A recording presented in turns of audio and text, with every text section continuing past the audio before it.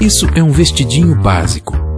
Apesar dele ser assim, basiquinho, o que está por trás dele é bem mais complexo.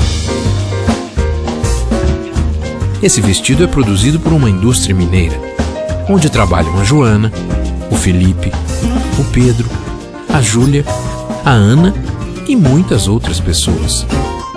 Todas elas contam com programas do SESI que promovem a saúde dos trabalhadores nas empresas.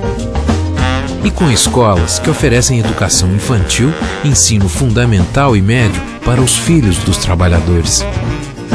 Porque para produzir com mais qualidade e vender cada vez mais vestidos básicos, é preciso oferecer aos funcionários bem mais que o básico. Assim se escreve uma grande história da indústria para Minas e para os mineiros. SESI e SENAI, um investimento da indústria.